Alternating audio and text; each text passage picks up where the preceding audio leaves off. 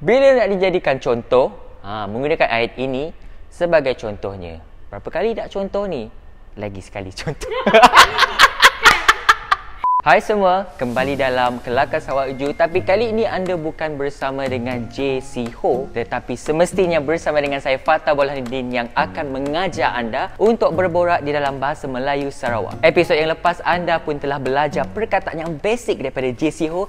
Dan sekarang ini saya akan mengajar anda Menaikkan level anda kepada level yang lebih tinggi Level 2 Kita belajar dalam kata hubung. Kata hubung ialah perkataan yang digunakan untuk mengabungkan struktur ayat dengan lebih cantik macam kita orang. Check it out. Perkataan yang first kali kita akan belajar pada hari ini adalah perkataan munsi. Kalau difikir secara logiknya, perkataan munsi ini bermaksud kalau tidak. Iaitu direct translation. Mun itu bermaksud kalau dan si bermaksud tidak. Sebagai contoh, bila ayat ini digabungkan dengan perkataan yang lain, ianya akan berbunyi seperti ini. Kita dah makan belum? Munsi, kami tolong tapaukan untuk kita. Ah, ah, dah start bila? Apa ya? Apa ya? Ayat ini bermaksud, awak sudah makan belum? Kalau tidak, saya tolong tapaukan.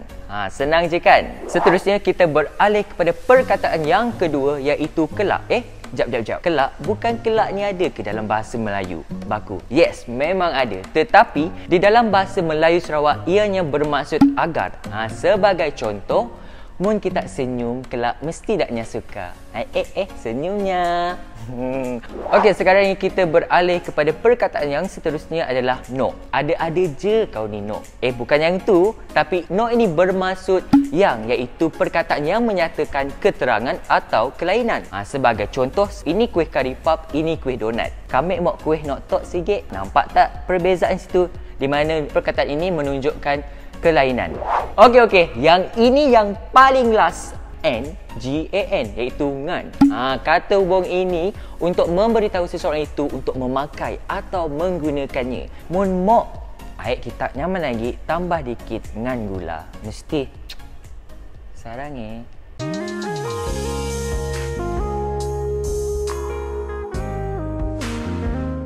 Okey, minggu ini kita pun telah banyak belajar perkataan baru yang ada kaitan dengan kata hubung. Munsi, no, ngan dan kelak. Saya harap pembelajaran ini dapat digunakan dalam perbualan hari anda. Jangan lupa sharekan video ini kepada rakan-rakan anda. Jika ada cadangan, boleh komen dekat bawah. InsyaAllah kita orang akan bawa dekat next episode. Bye!